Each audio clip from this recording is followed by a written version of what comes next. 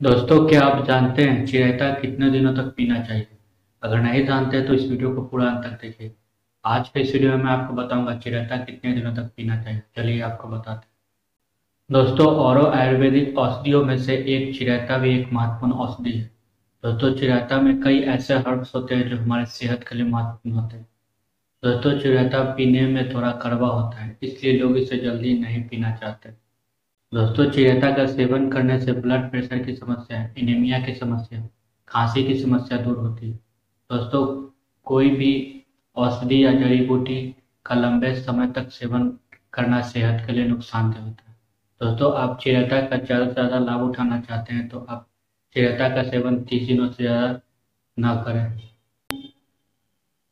Continue चिरैता का तीस दिनों तक सेवन करने के बाद इसका सेवन करना बंद कर दें। फिर पंद्रह या बीस दिन के बाद आप इसका सेवन करें। दोस्तों, शरीर का खून साफ़ करने के लिए चिरैता एक उत्तम औषधि है। आज के लिए बस इतना है। जानकारी पसंद आई तो वीडियो को लाइक और शेयर ज़रूर करें। हमारे चैनल को सब्सक्राइब करें ताकि आपको हमारी वीडियो का नोटिफिकेशन सबसे पहले मिल सके।